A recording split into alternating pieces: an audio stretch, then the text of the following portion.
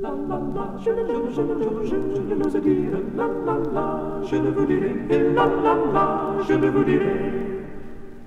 Il est un homme vide qui de sa femme est jaloux.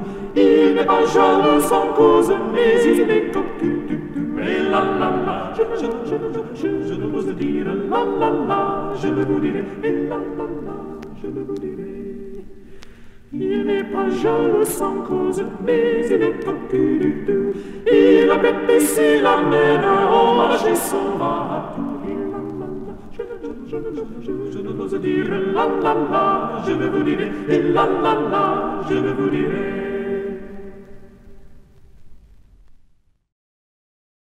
Little is known of Pierre Certon's birth, his early years, or his musical training. Certon became in 1529 clerk de matins at Notre Dame.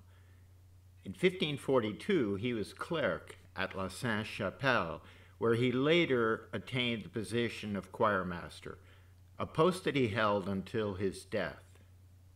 He is mentioned by Rabelais in the Nouveau Prologue to the second book of Pantagruel. Among the works of the prolific composer are approximately 50 motets, about 200 chansons, eight masses, French psalms, and canticles.